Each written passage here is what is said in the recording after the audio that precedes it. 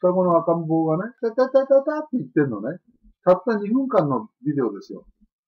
これ、普通の人が多分スマートフォンかなで撮ったビデオだと思うんですけど、これがですね、1億2500万回以上再生されてるんですよ。ということは、この方はね、1200万前後のこの1本の動画で収入があったってことですね。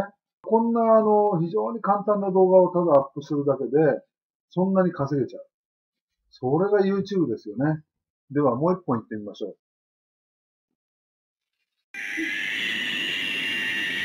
これわずかね、30秒しかないこんな簡単な動画。これがですよ、8800万回以上再生されてる。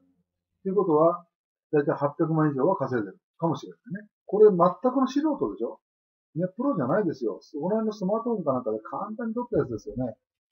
こんなんでこんな言っちゃうんですよ。赤ん坊のやつだとか、この猫のやつだとかね。こういうのはものすごい簡単だと思うんですよね。皆さんもですね、ぜひやってみたらいいんじゃないかなって思いますよ。